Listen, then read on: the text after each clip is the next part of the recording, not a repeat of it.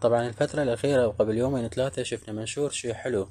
إذا تردين مكياج يكون آه، بلمعة يعني مال مناسبات وانتي تخلطيه سوا بيدك. أكو highlight لمع. highlight لمع يصير سائل. هذا highlight سائل لمع. تخلطين عليه؟ تخلطين عليه كريم الأساس. هو شي حلو أنا شفته بالمنشور شي حلو. فحبينا نجربه. نشوف الانسجام مالت الأساس ويا الإضاءة شلون راح يصير وشلون ينطي لمعة. هذا الأساس مال بشرة جافة Bourjois أكو مال بشرة دهنية وأكو مال بشرة مختلطة هو حسب. نوع بشرتكم اختاروا كريم الأساس اللي تردوه يصير هو أساس في تغطية متوسطة هذا وخفيفة لأنه البشرة جافة ويكون بلمع لأنه بي highlight سائل. أهم شي highlight سائل مو تخلون highlight powder ما يصير. طبعا هو هسه بالعين المجردة هو واضح لمع.